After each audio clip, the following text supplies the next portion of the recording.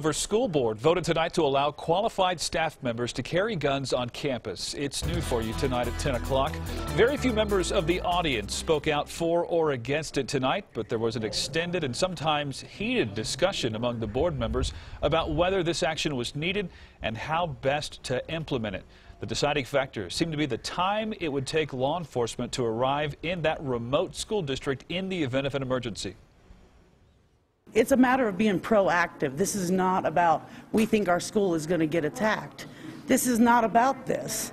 This is about a, it's a fact of life in the United States that we may have to cross this bound. Why can't we be prepared? There's nothing wrong with being prepared.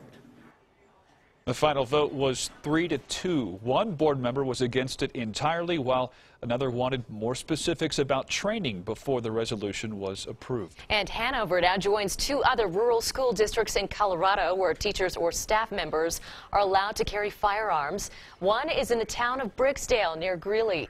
The other is Dove Creek, just northeast of Durango. Both districts made the change in 2013, a year after the Sandy Hook massacre in Dove Creek. The decision came several years after a plot by two students to kill their principal. Of course,